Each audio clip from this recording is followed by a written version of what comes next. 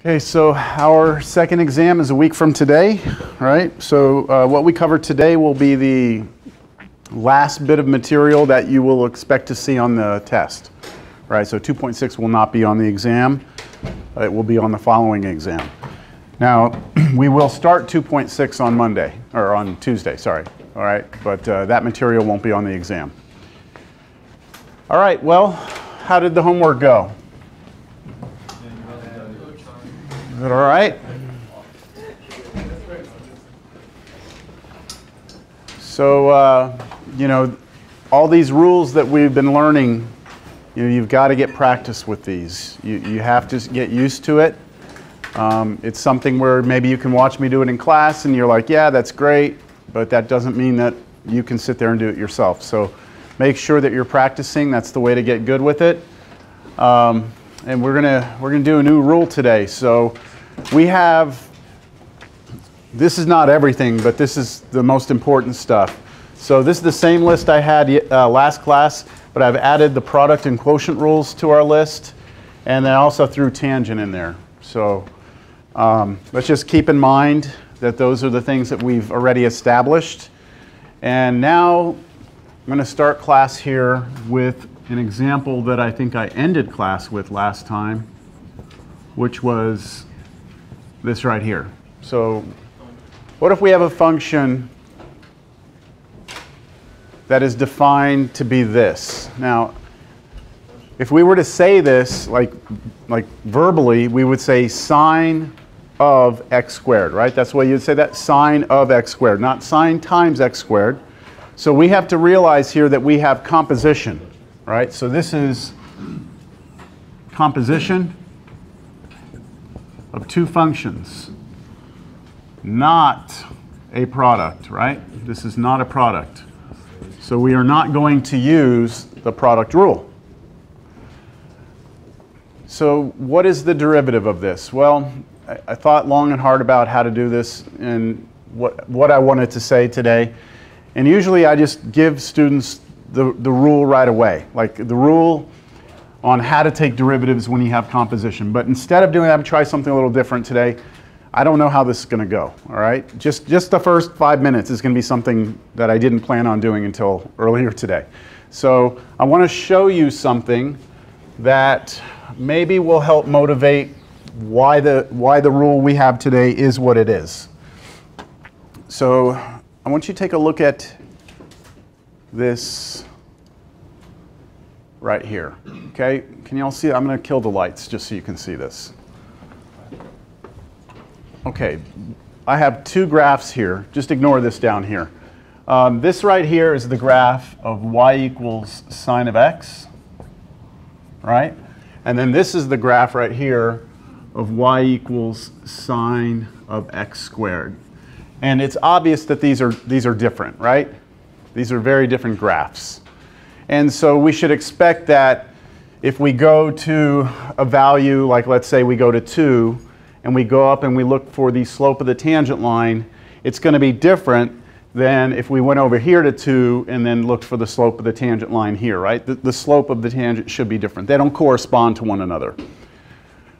But to get a feeling for, for why this is happening and where the rule, where the rule comes from, I thought I would try and show you something a little different. So let's take a look. I want us to look at these same two functions, but I want us to think about, think about them in a different way, right? So I'm gonna, I'm gonna draw this over here first. Let's, this, this top one is gonna correspond to sine, and this one's gonna be uh, sine x and sine x squared. So think about when you have y equals sine x, right?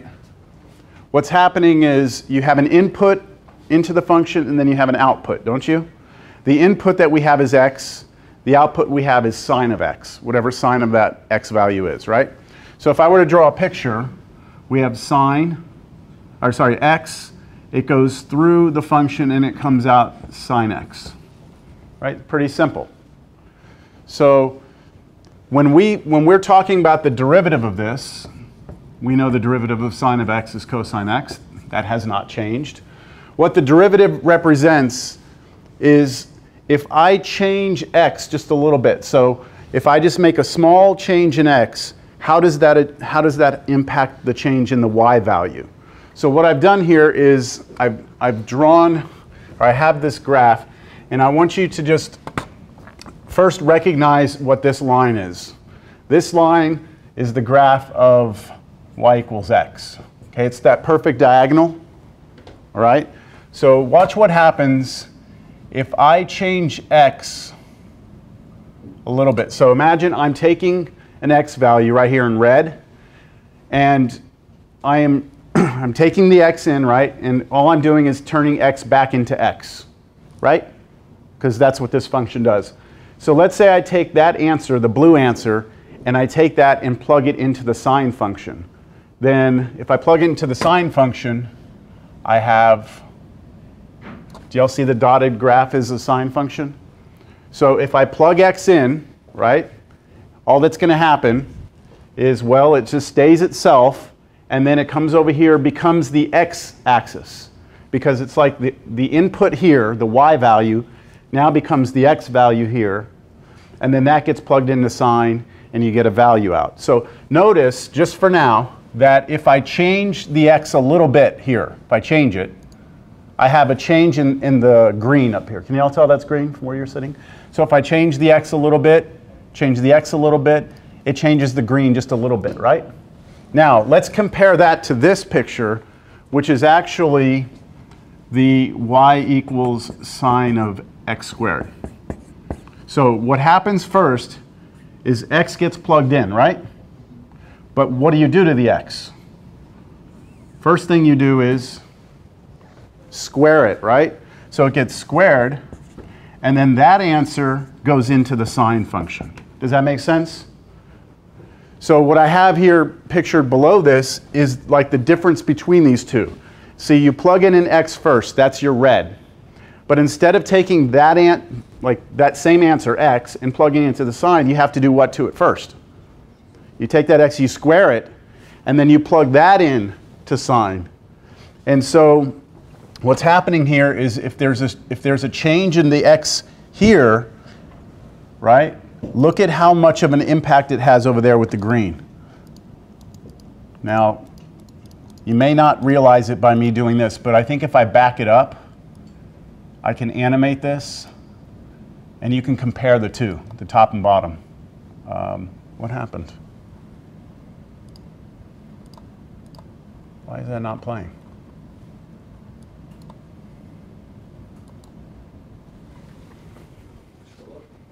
What happened?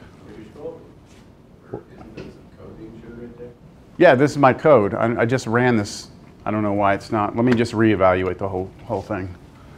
Maybe I made some adjustments. Let me see what happens here. Yeah, I don't know why it's not showing that. Okay, there we go. I, I have no idea. I Just forgot who it was for a second. Okay, so let me slow it down so we can, we can try and illustrate this. What I want you to, what I want you to pay attention to is the red, the red in both of these graphs represents my change in x. So if there's changing in x, up here, this, this is changing by the same amount because x is going in, x is coming out, right? And therefore, that's getting plugged in here. So I have some change in y. But over here, my change in x and my change in y are not the same. This one's being squared. So look how it has an impact. I mean, look at the difference between these two.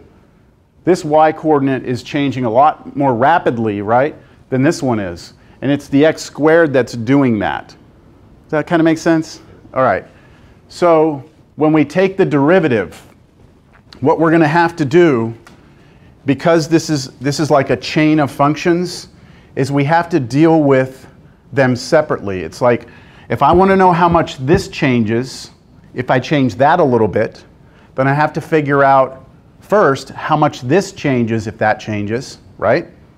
And then I have to figure out how a change in this impacts this. So it's like two separate rates of change I have to, to um, consider. Does that make sense? As opposed to here, it's just like a change here is an, is an immediate impact on this. And so there's only one rate of change to consider here. I hope that makes sense. You know, it wasn't, it was just an idea. So maybe, maybe it helps, maybe it doesn't. Let's just get to the rule now. So what is the chain rule? That's what it's called, chain rule. I think I mentioned at the end of class last time that the chain rule is the most important. I think it's, I mean, you can't really do, you can't really do any uh, derivatives if you don't know the ones above. But the chain is the one that's the most important because I think it's the most difficult. So you have to master the chain rule. If you don't master the chain rule, your days in calculus are numbered, all right? So I even say that here. This is the most important rule when it comes to differentiation. Mastery of this rule will drastically improve your chances of success in this class and in future calculus classes. So there's the rule. That's it right there. Okay, now let's try and make sense out of what this is saying. All right? Hold on. Hold on. What it is saying is that if you have, if you want to know what the derivative with respect to x is, that means x is the input. Remember, x was always the input? So I have x down here. So if I want the derivative with respect to x of a function that has another function plugged into it, right? So we have to understand that notation first. When you write f and then g of x in here, the picture that goes with this is that x first goes through what function? g first, right? Comes out g of x. But then that answer goes through the function f and comes out f of g of x. So just be sure you understand that, that the f is, f is like the outer function, the last thing that happens, g is the inside function. Does that make sense? Okay, so if you have composition of two functions together, the derivative of this is, now let's look at what this is saying. It says you're going to take the derivative of the f function, which is the outer function, right? You're going to take the derivative of that function, but inside of it, you're going to plug in the g function without taking the derivative of the g function, right? right. Then multiply, this is always multiplication, then you multiply by the derivative of that inside function. So you remember I showed you that picture a second ago. I said we have two steps. We have to take care of each step.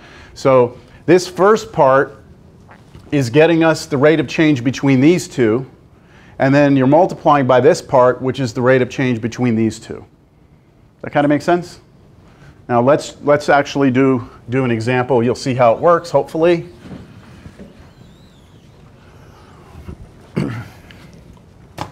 So let's go back to the one we started class with. All right, so I'm going to write down y is equal to sine of x squared. So we realize first this is composition, all right? So what is the outer function? I mean, this does look like f with g of x plugged in, right? Doesn't that look like that? So what's the outer function?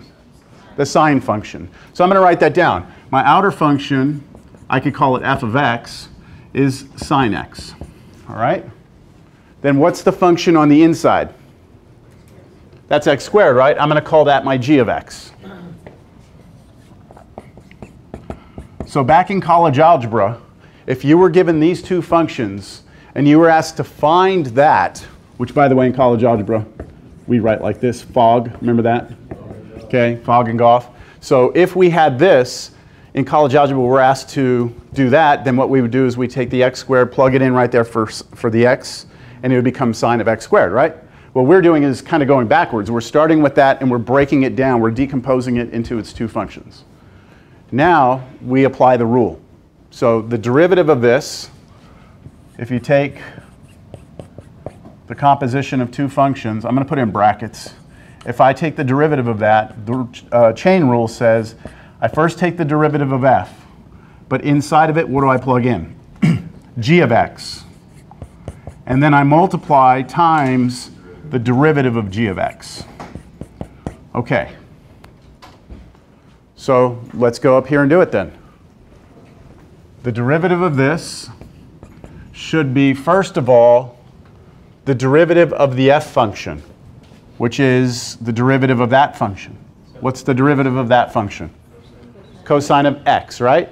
But we're not going to plug x into it. What are we going to plug into it? g of x. So we're going to be plugging in x squared. Do you all see that? So this first piece should read cosine not of, not of x, but of x squared. So maybe I'll write it down over here in a different color. Remember that the derivative of this is cosine x, and we may as well get the derivative of g, which, what, what is the derivative of that? 2x, right? Just 2x? Okay? So what we did when we're using this formula is we're taking the derivative of f, which is cosine of x, but inside of it we're plugging in g of x. g of x is x squared. So that gets plugged into that, and that's where we get this. Understand? Times, and now we multiply times the derivative of g, right? Just g prime of x, which is right there, which is just 2x. And what we could do now, I mean, this is fine, but put the, put the, uh, put the 2x out in front of the cosine is usually the way you'd see it written. And this is our derivative.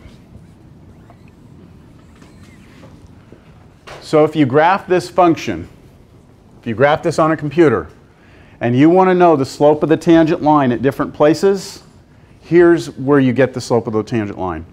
So you would, you would plug in whatever x value into this, and that would give you the slope. Understand? So what would be the slope of the tangent line at 0 for this?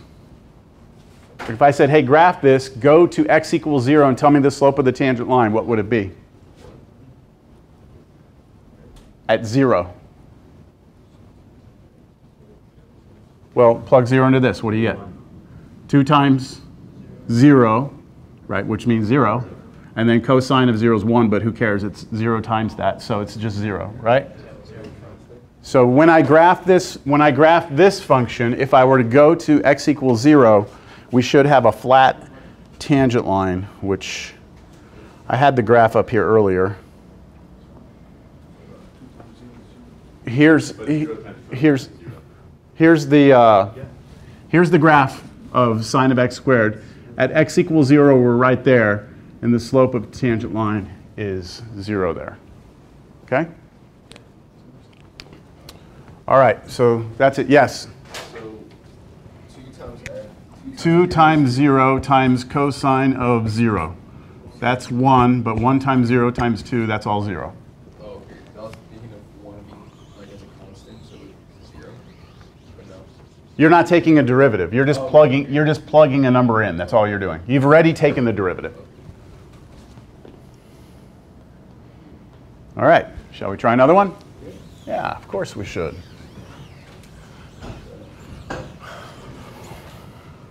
All right. How about this? y equals 3x squared plus 1 raised to the 12th power. Now, if you, if you wanted to avoid the chain rule, and not have to do the chain rule, you could.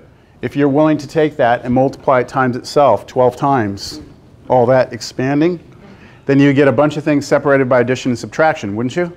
And then you could do them one at a time. But I don't think anyone wants to do that, right? Right? Somebody tempted? Still tempted, right? You could just make that number as big as you wanted, and I could eventually convince you that it's not efficient to do it that way.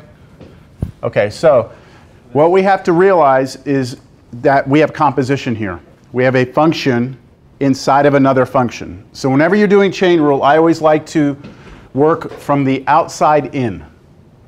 And the way you can tell what's on the outside is by just thinking about what would happen if you plug an x in. Like right now, if you plug an x in, you're going to do all this first, right? After you do all that, then you go to the 12th power.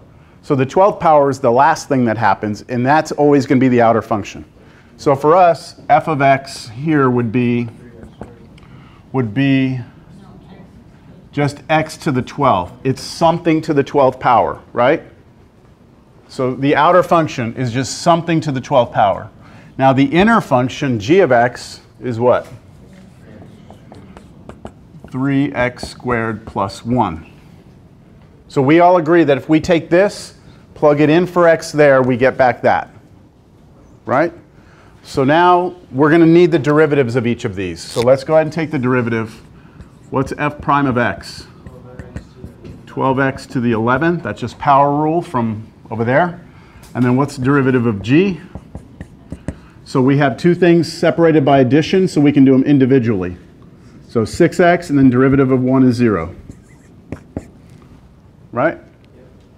So according to the formula, the derivative of a composition of two functions is f prime, but inside of it goes g, and then multiply that times g prime of x. Do you, do you all agree that the g prime of x is the easiest part of this because you just need that derivative right there? The tricky part is that you have to take the derivative of the outer function, but then plug in to it the inner function.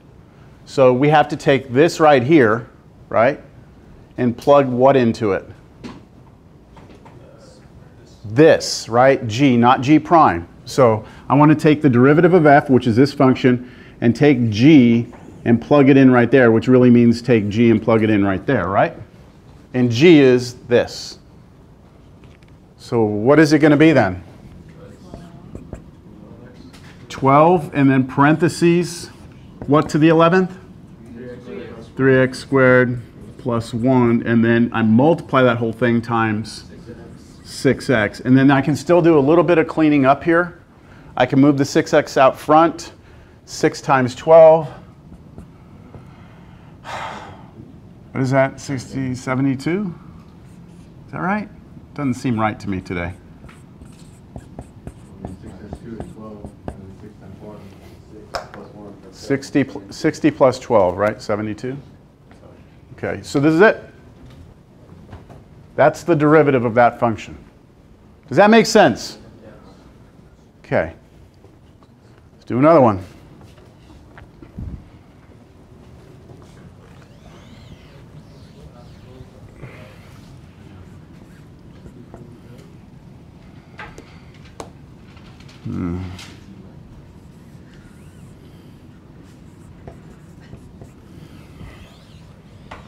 Y is equal to the square root of sine x.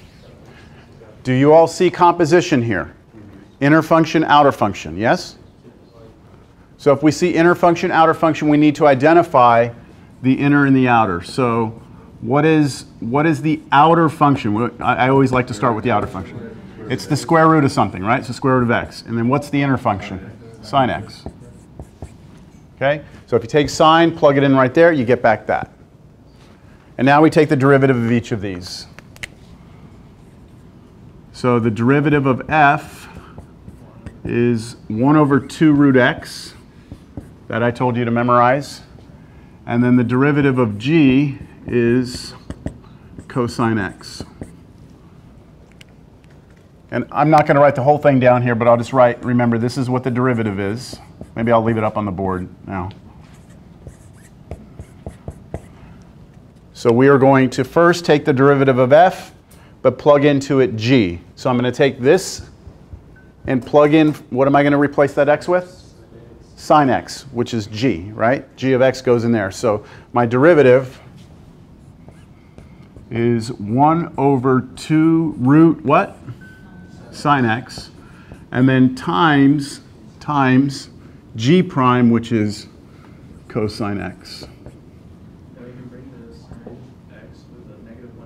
You could bring it up. You could, there's a couple of things you could do algebraically to this. I'm just going to leave it like this. I mean, that's perfectly fine. I just slid the cosine up on top of the fraction. Okay? This kind of making sense? All right. Hmm.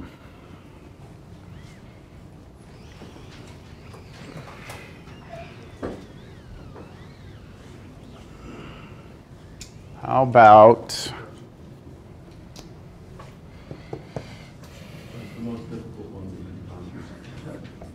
the most difficult one? What? That you can conjure? Oh. Most difficult? I mean, yeah. Difficult within within the realm of, of being able to do it? Or difficult that I know we can't get it? Yeah, okay, well, let's, let's slowly, let's, it- let's slowly crank it up. That's what I'm doing right here. I've, I've cranked this one up a little bit. turning the bolts. Turning the screws, yeah. So uh, what do you see here? Do you see composition? Yes. Do you uh, see a function in a function? In a function. Yeah. Do you see three of them? So do you see that x squared plus 1, that right there, you could look at as one function, that gets plugged into sine, and then it all gets cubed. So you have to remember this, when you write it this way, this is actually, that's what that means. When you have a cubed right here, it means the cubed is on the outside and it cubes the whole sine of everything, all right? So we have three, don't we? We have three. Now, I haven't shown you a rule for three, but it follows logically the same way that the previous one did. Let's see if we can't come up with the formula ourselves. Would it just be FGH? It's going to be three, f, g, and h, but what does the derivative look like? We'll, we'll, we'll see. Let's write the three functions down first, starting with the outer function. So what's the outside function? x cubed. Okay, something's being cubed on the very far outside, right? It's the last thing to happen. What's the middle function doing? Sine x. And then what's the inside, the, the furthest inside function? x squared plus 1. Y'all see that? Now, let's take the derivative of each one, even though I'm not sure what to do with them. Okay, the derivative of this one is 3x squared. The derivative of this one is cosine x. And then the derivative of this one, I called it h, so h prime of x is 2x. All right? Yeah, okay, so that's great. We, we identified the three composite functions and we took each of their derivatives, but the question still remains, what does the derivative look like? So here's what it is. I'm going to write it down, then let's talk about it. I'm going to take the derivative of the outer function, f. But inside of it, what do you think I'm going to plug in? So if it were just these two, right, what would you plug into that? Just g of x, right? But g gets this plugged into it also, right? So inside here is g of h of x. Goes in the descending order. Okay? Does that kind of make sense? And then times, what do you think comes next? G. The derivative of g this time. But what do you think goes inside the derivative of g? Just h, yes?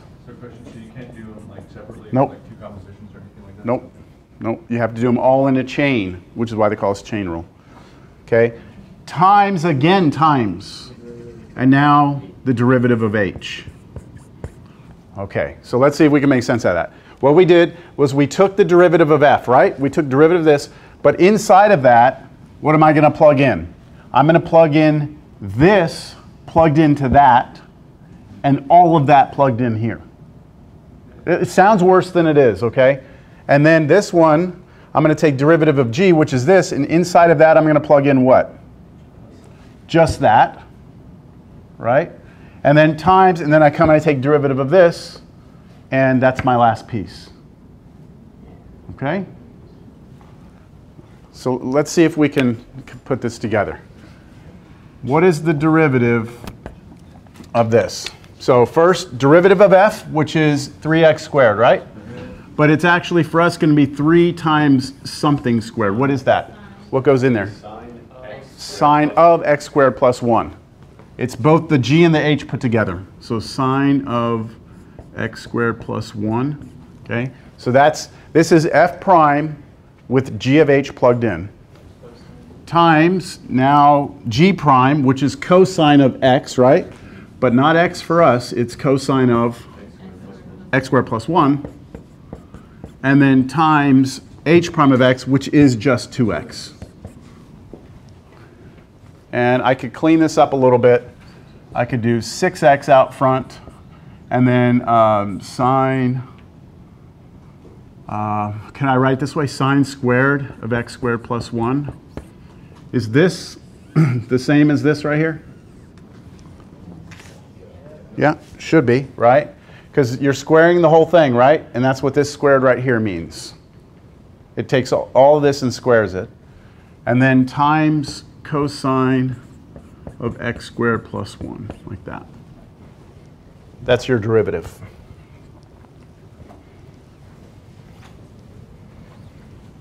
So three of them was a little more involved, right? Would you agree? Is there anything stopping us from having four? No, there's nothing stopping us from having four.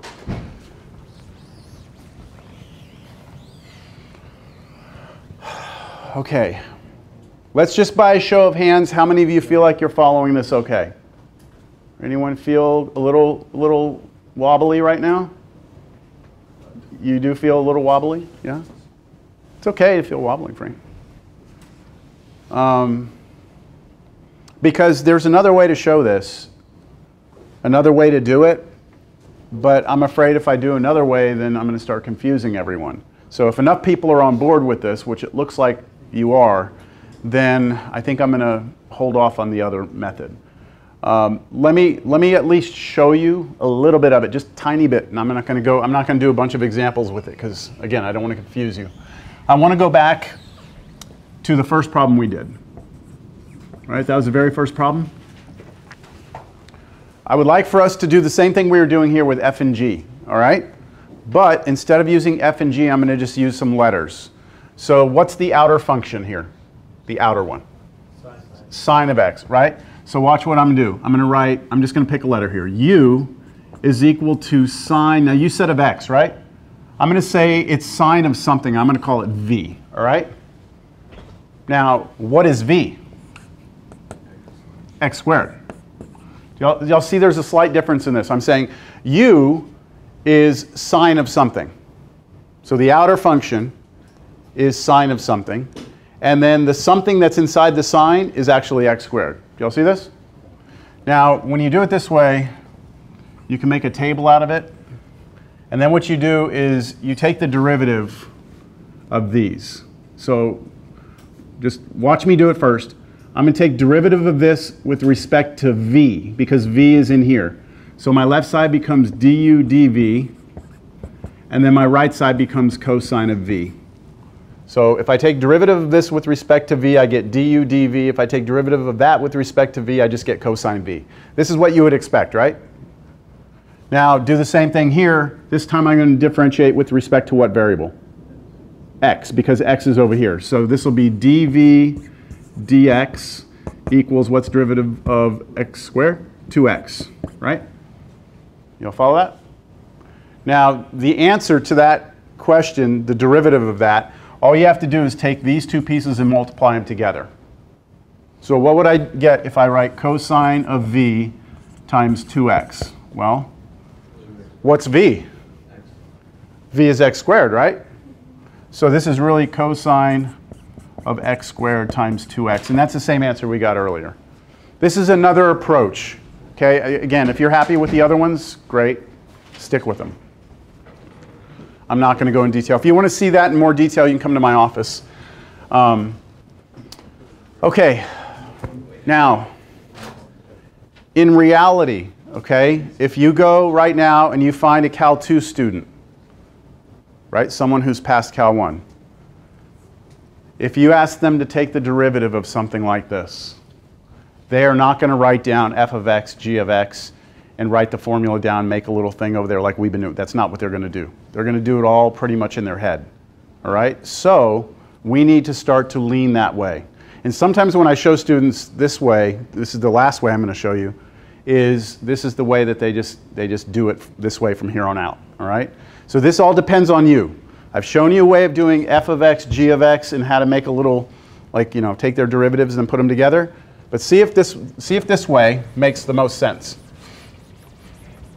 I don't know if I'm being clear. Let me just make sure I'm clear. The way I'm about to show you right now is where you want to be at some point in this class, all right? What I'm about to show you right now. So here we go. We're going to do this one. I'm going to bring you down a little bit, though, so I can work with it here. So here's the original problem, right? All right, I would like the derivative of this. Okay, so the way that the way that I do this, I mean, this is literally the way I do this. All right. I look at this. I have to realize its composition. All right. And then what I do is I identify the outer function, which in this case is sine. And then I just kind of imagine that somebody is asking me to find the derivative of sine of this. I don't even know what the hell this is. Oh, it's like a little wrist pad for using the mouse. Okay, so what is the derivative of sine of a wrist pad? Cosine. Of a wrist pad, right? Cosine of the wrist pad. Understand? Times now, we've done sine, haven't we? Okay, so I'm not going to look at sine anymore. I'm going to go in. I go in, and now it's just x squared, and I can take derivative of x squared. It's just what? 2x. And I'm done. Okay, so that's the same result we just got, isn't it? Okay, let's do the next example that we had done together. I believe it was, was it square root or was that the next one? Square root? Square root of sine x? No, No, that wasn't the second one I did? no, it's three x squared plus Oh, yeah, yeah, it was 3x squared plus 1, Yeah. all to the 12th power. Okay. So what's fun about doing it this way is that you can, you can pretty much use anything you want. So this time, I'm going to take this little nasty, dirty rag that needs to be washed, okay? And I realize I have an inner function, outer function, right? And I say to myself, okay, the outer function is to the 12th power. So what is the derivative of a nasty old rag to the 12th power? 12 times the nasty old rag to the 11th power. Does that make sense? But what's the rag? That, right? So that goes in here. Follow me? Now, you've done the first part of the chain. That means you've already taken care of the 12th power. Now you go inside and take derivative what's in there, which is times 6x. And then you put those together, you get the same answer we just had, right? So you're right. I've, I've done this, I've taught this class many times.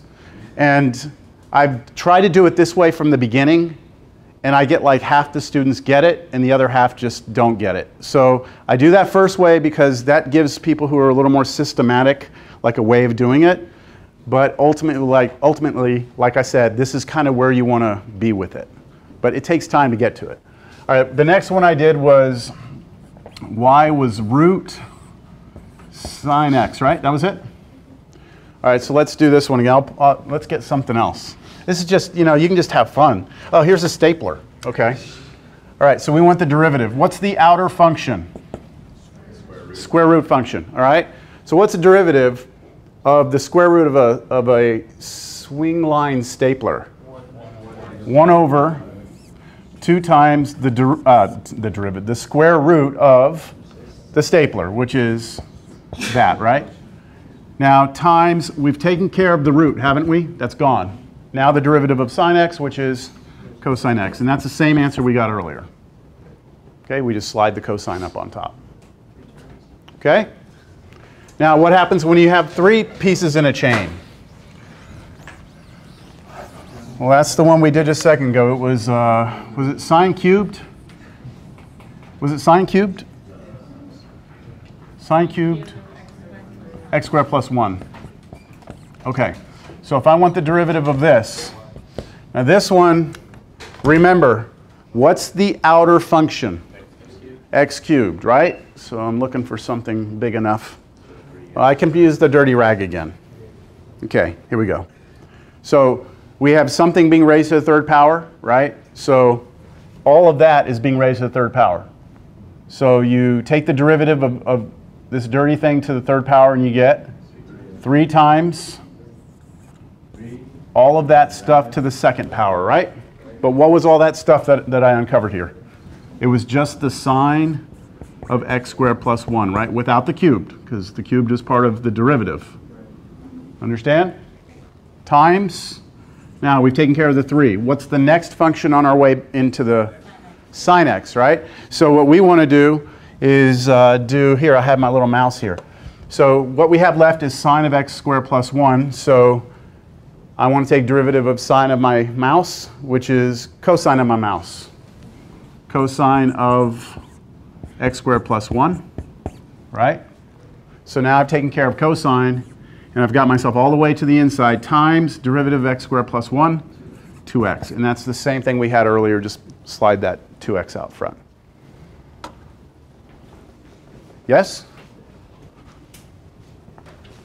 Okay, let's do something else. I mean, this is it. This is the chain rule. There's, I mean, there's nothing more. That's all this section is about. There's no more formulas to show you.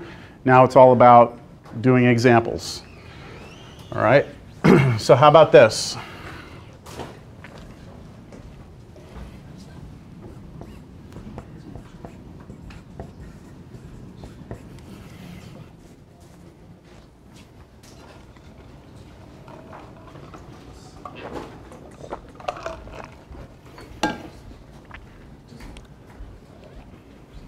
Well, hmm. Is this different? Why is this different? It's not completely just composition, is it? It's actually a product. Right? Do y'all see that? We have a product here. Right there. And so if you have a product between two things, you, you can't throw this away. It's not like these rules disappear. These are still in, in play. We have a product between two functions. And because of that, we have to use the product rule. So the derivative of this from last class will be the derivative of this times this plus the derivative of this times that. And that's that rule right here. So this will be the derivative of x times sine squared x plus the derivative of sine squared x times x. Does everyone see that that's just the product rule? No questions? All right, now the things that I left the little prime marks on, we have to go find their derivatives now. So what's the derivative of x? It's 1, good for us, right? That's 1. So this is just going to be 1 times sine squared x. I, am not messing with the sine squared because the product rule tells me not to, right? Leave it alone. Plus, but now I need to take derivative of sine squared x. And that's composition, right? So I'm going to do that over here. I'm trying to imagine that somebody gave me this as its own little problem. Okay, so like this is in its own little world now, and I'm going to go find its derivative. So I can use these sticks here. I have stick squared, right? So I take the derivative of this, and it's going to be two of these sticks, right? Two of the sticks to the first power. And the stick is sine x. Am I done? Am I done? No, all I've done is the squared.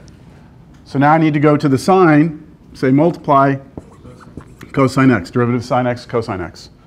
So at the end of the, the day, this right here becomes 2 sine x cosine x. And some of you might recognize that from pre-cal as being a double angle um, identity, but I'm not going to mess with that. I'm just going to, that's my derivative. I'm plugging that back in over there, all right?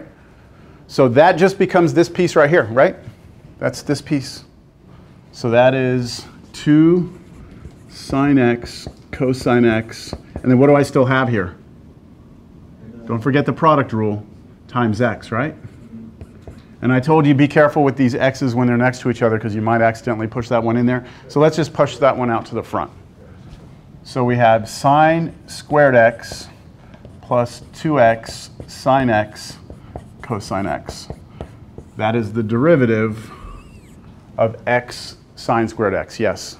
Side? Yes. Sine x, is that the derivative of sine? Nope. Same, why is there like? Oh, sorry, that's a 1. I'm sorry. Yes, this is a 1. Um, I was using the power rule. 2 comes out, subtract, I have a, to the first power.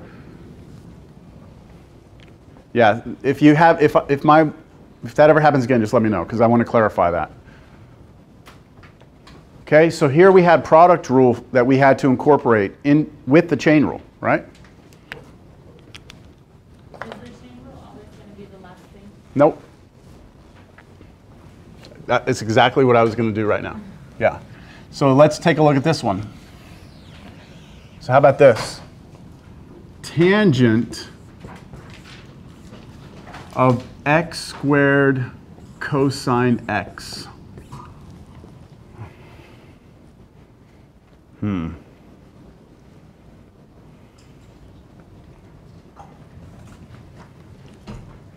All right. Is that secant Yeah, what do you see here? Just, I want to know what you see. Composition. You see composition? Everyone see composition? What would the outer function be? Tan x is tan x is the last thing that happens, right? So inside of that, you have another function, right? X squared cosine x. Is x squared cosine x composition?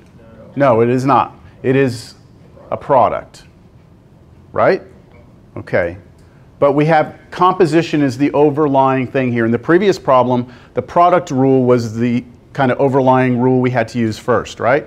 When we did the product rule, one of our, one of our derivatives had, had a uh, chain rule in it, didn't it? This problem, we have composition as kind of the overriding thing, and within the composition, we have a product. Yes? Kind of a stupid question, but when you say composition, you mean like two functions? A function inside of another function, as opposed to a function times another function. Okay, so let's see if we can't do this with uh, this sheet of paper. If you look at this, you want to take its derivative. On the outside, we have tangent of this piece of paper, right? What is the derivative of tangent of a piece of paper? Well, according to this, the derivative tangent of x is secant squared x, right? So this should be secant squared of whatever is underneath this paper, right? Which is x squared cosine x. Okay, chain rule says now times what? We've done tangent, right? So now we go on the inside and we take derivative of what's inside. But that is a product rule, right? Understand how this is working? So I'm trying to fill this in right here, but to fill this in, I need the derivative of that, and to get the derivative of that, I better come over here and do some scratch work. I'm trying to take the derivative of that product. Okay? Whatever the answer is here gets slapped in right here. So let's do this product rule. And I have the sticks here today. Marissa, did I use the sticks last time? Yeah, I keep on mixing them back up. Marissa, did I call on you last time? I did, right? I think I remember that. Let's see. How about Alberto? Called on you last time also.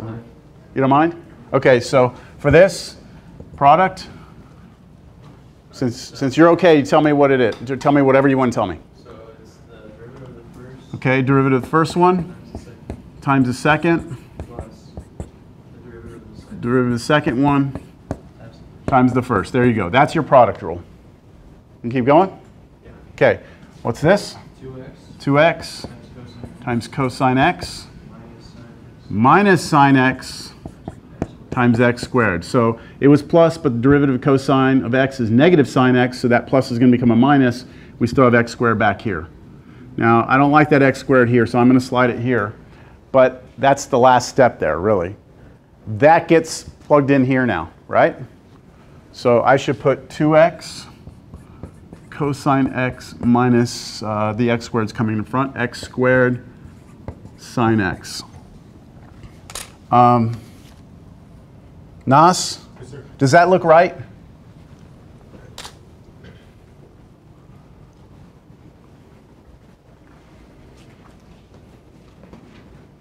mean, are you asking if, if there anything we can do? Uh, no, I'm asking if I box this up as my answer, is my professor going to take off points? I mean, yeah? Why? No, I wouldn't take any points. You wouldn't? No. Okay. I would. Why? Why? Yeah, why? It is the They have X in common? No. What is this telling you? Okay, the chain rule says you're supposed to take derivative of something, blah, blah, blah, do this, and then times the derivative of the other piece, right? Which it looks like I've written, but that's not what this is saying to do. Isn't this saying to do this times just that piece? Yeah, but that, with, written that way, that's not what this means. This means this times just that. I'm missing something. Parentheses. This has to be in parentheses. It's not a choice. It's not like, oh, I can if I want. I leave them out if I want. No, it's this, right, times whatever the derivative of this is. So if the derivative of that turns out to be two terms, you have to add in parentheses. It's kind of like if I ask you to, if I ask you to um, multiply four times, and then over here I say uh, 2 plus 3. I want to multiply 4 times 2 plus 3. Then I, if I write 2 plus 3 like this, you're just going to do 4 times 2, 8, and then add 3. It's not what I want. I want 4 times 2 plus 3. I want 4 times 5. Does that make sense? So the parentheses are not optional here if we have more than one term. If we have one term, if this derivative turns out to be just one term, you don't need parentheses because then it's automatically multiplied. That makes sense? Okay. Let's do another one.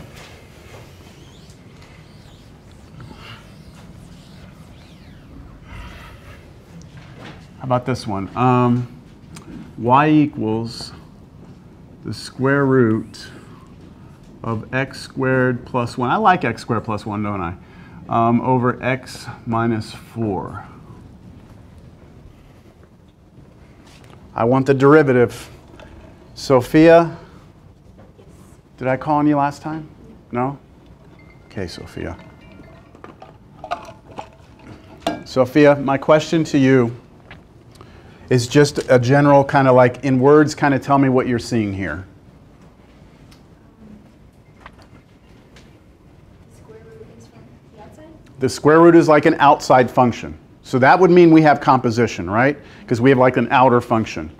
Now, then what would the inner function be, Sophia?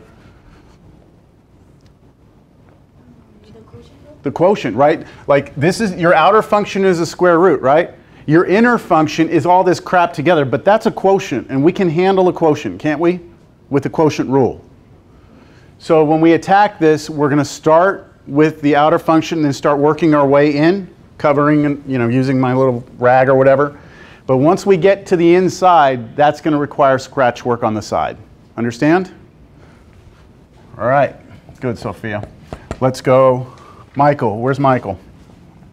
Did I call on you last time? No? Michael. Uh, we'll use the water bottle.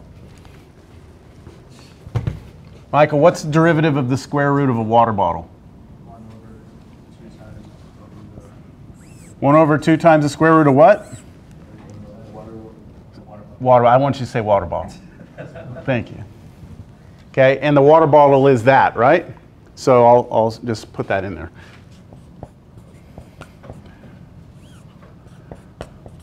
Okay, so there's, there's the first step in the chain rule, right? That's the first link. We have now exhausted the, the root. We don't have to consider anymore. So our next step, Lewis. I didn't call on you last time. Luis, ah, damn it, I keep doing that, man. Let me put a little prime mark up here. I might, might, Luis, all right. Luis, I'm trying to take the derivative now. I've moved inside. So Luis, when you see this, you should be thinking what? Quotient rule. And that, unless you can do it in your head, which I don't think anyone here is doing that quotient rule in their head yet. No, I don't think anyone here is doing that in their head yet. So um, since we're not, let me write it down. There we go, Luis. We're going to stick with you. We want the derivative of that, right? And that answer, whatever it is, no matter how ugly it looks, it's going right here. Okay, so Luis, quotient rule tells me I must do what here? So take the derivative of the first one, Derivative of the top one, uh, times the bottom one, times the bottom one, subtract derivative of the bottom one, derivative of the bottom one times this top one up there all over all over the bottom square. the bottom square. Is he right, everyone? Yes, he's right. Good. Rasul, did I, I called you last time? I keep doing that to Rasul. I'm sorry. Emily, I didn't call on you last time? Are you, are you caught up? Do you have this written down? You good?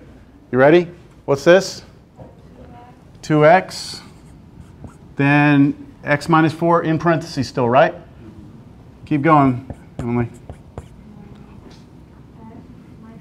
Minus, we're taking derivative of this one, right? So Emily, what's derivative of x? 1, and then derivative 4 is 0, right? So that's just 1.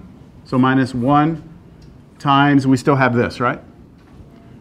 X squared plus 1, and then all over the bottom squared. We good? Now, this minus 1 right here is important, isn't it? Because this is in parentheses, so that minus 1 has to get passed through. And then this 2x has to get passed through. So I'm going to try and get through all the sticks today. Savannah? Did I call on you last time? No? Okay, Savannah, can you give me the, the numerator? Like, go ahead and clean it all up and put all like terms together. X squared minus eight x squared minus 8x X what? minus one. Minus 1 over our common? Right. Okay. And I told you all in class last time, don't, don't expand this. Don't bother expanding that bottom one out. Just leave it. We all agree? No? Why are you squinting your eyes? Uh, no, I asked her to put it all together. So she already combined all, your, all her like terms together. So let's see. They're doubting you. So here to here, here to here is what? 2x squared minus 8x. And then here to here, here to here is minus x squared minus 1. Good. So once you put all that together, you get this all over that, right? And this is just the derivative of what's inside there, right? Which we need to now slap back over here. x squared minus 8x minus 1 all over x minus 4, that quantity squared.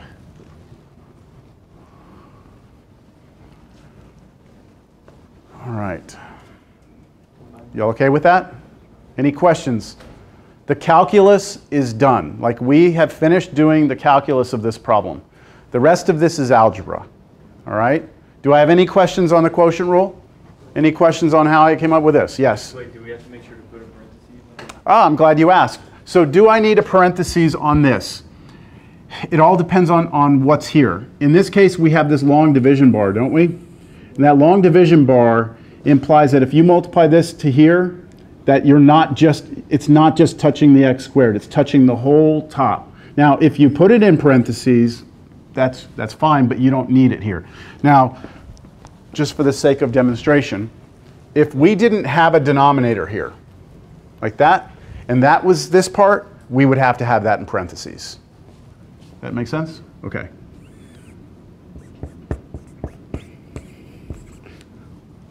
All right. So this is this is uh, this is the derivative, right? This is the raw derivative. That's what I called it last time. This is not what you would see as an answer in the back of a book. So let's see how you would get to the answer in the back of the book. So I'm gonna I'm gonna write some stuff down here, and then you tell me what I did.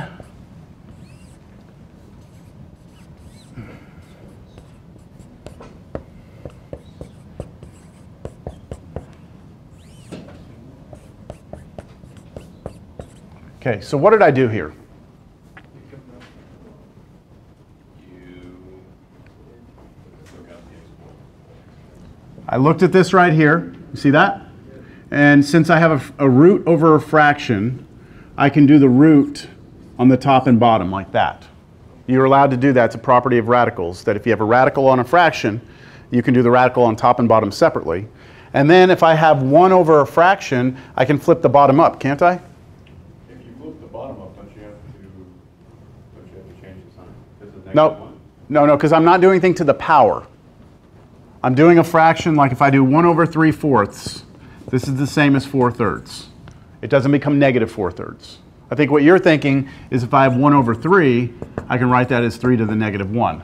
That would be bringing the 3 up and changing its exponent. Or maybe I should do this. And on the, on the bottom example, you're just multiplying by the reciprocal. The one over, no, no, Yeah. on your example of one over three fourths. Yeah, I'm basically multiplying by the reciprocal. Okay, so that's how I got to here. Does that make sense? Yes. Now, the next step, what I'm going to do is I'm going to realize that I have x minus 4 squared here, x minus 4 to the um, square or square root of that, and that means raising it to what power? 1 half. Right? Isn't that the same thing? And then you can use proper